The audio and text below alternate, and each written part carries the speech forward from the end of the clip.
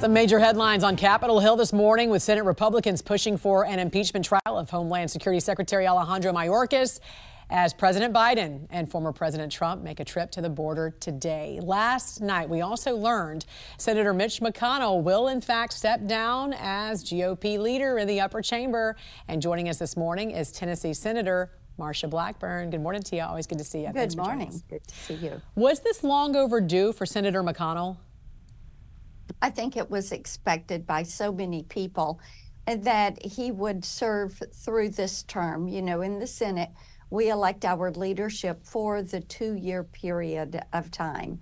And I don't think it came as a surprise. And uh, we will put our focus on taking that Senate majority and winning the White House. And then after that is done, we will turn our attention to leadership elections should he, for the Republicans. Should he resign altogether? Uh, Leader McConnell is going to make his decisions. I think it's appropriate that he announce his plans and that he continue his service, and that's up to him and the people of Kentucky. Who would you like to see step up in that position? Right now, I am focused on making certain that we take the majority, and that will be our focus until we win in November, and then we'll turn our attention to finding someone that will be the Republican leader and hopefully the Republican majority leader. Senator Blackburn, I know in a Senate trial you would vote to convict Homeland Security Secretary yes. Alejandro Mayorkas. You released a statement after the House impeached Mayorkas, writing, Under the Biden administration, there have been over 8.8 million illegal encounters at the border. In 2023, ICE deported only 142,000 people, less than 5% of all illegal crossings. Secretary Mayorkas is not just failing at his job, he is upending the foundation of our democracy, the rule of law. At every opportunity, Secretary Mayorkas has led DHS to prioritize making illegal immigration legal and putting lawbreakers ahead of law abiding Americans. Senator, why is illegally entering our country no longer a crime? And it is baffling to the American people. This is why border security is the number one issue because people are seeing all of this footage of people streaming across the border and then they're seeing the rate of crime go up in their communities. They are witnessing fentanyl that is now the number one killer of Americans 18 to 45 years of age. They are witnessing what is happening with human trafficking, with sex trafficking, and they're hearing their local sheriff and their local police chief say, Look, we're doing all we can, but until the border is secure, we're not going to get our arms around the drug issue and the human trafficking issue. And people are saying, we've had it. Enough of this. They, we have communities in Tennessee that have gangs that have never had gangs. And now those gangs are present. They are trying to recruit people that live in the communities. They're carrying out carjackings and smash and grabs. And people want to see something done. And they hear from local law enforcement, it all starts with securing that border. It would take a simple majority by Democrats to dismiss that impeachment trial. Senator, what are you hearing at this point? And, and what's your thoughts that they do have the votes to try and not even yeah. bring this to trial in the Senate? It is inappropriate that they would try to table this and not bring it forward as a trial. That is the Senate's responsibility to conduct that uh, process after the House has issued the impeachment. And the American people are baffled as to why we have a Homeland Security Secretary who does not believe in securing the homeland. And they want something done about this. They're tired of seeing kids take one pill and they're dead because of fentanyl. They are furious with the way drug dealers have moved into communities and the way gangs are roaming the streets in communities, and they want something done.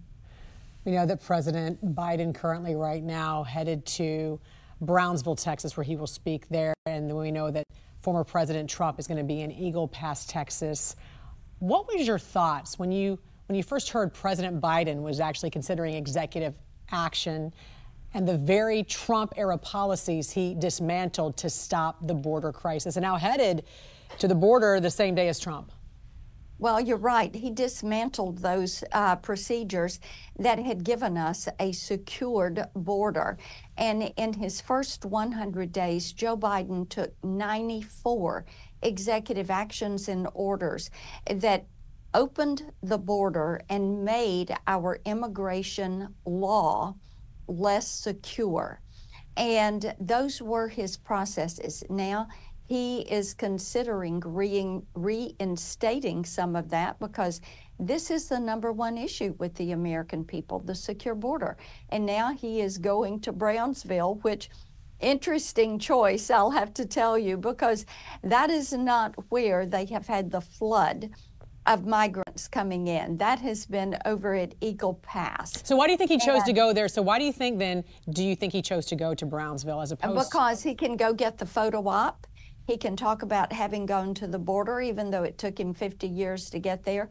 But like he did the last time that he went down there, he's probably going to the wrong address.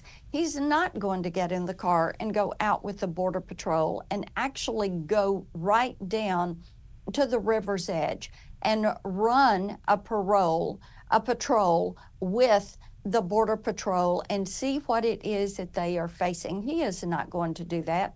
They'll clean up Brownsville like they cleaned up the last time that he went to the border, and he's probably not going to see the influx of migrants that if he went over to Eagle Pass or he went to Arizona, that he would see. But this is a check the box. It's an election year, and I think it's a really interesting. Donald Trump will be warmly received by the Border Patrol because he listened to them. They said they needed a physical barrier. He said, Great, we'll build a wall. Joe Biden has not listened to them. He has not had their back.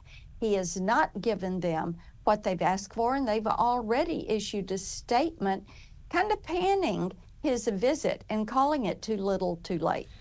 And Senator Blackburn, you have been to the border. Very quickly, describe what your experience was like when you were there my experience has been over the years that I've been going to the border, going out on patrol, walking through the pathways, seeing where these migrants are dropping water bottles and camo clothing and carpet shoes, and actually watching and working with Border Patrol as people come across and they apprehend them. And the illegal immigrants throw their hands up and say asylum, claiming asylum, and then watching as you see as some of these NGOs come in and provide um, at taxpayer expense uh, clothing, food, uh, a ticket to wherever they're wanting to go, seeing these migrants get on a flight, being processed separately by TSA not going through security, having to present their ID and be scanned, but uh, putting them on on commercial flights at taxpayer expense. That's what I've seen. Senator Marsha Blackburn from the great state of Tennessee. Thank you for joining us this morning. Good to have be a, with you. Have a great weekend.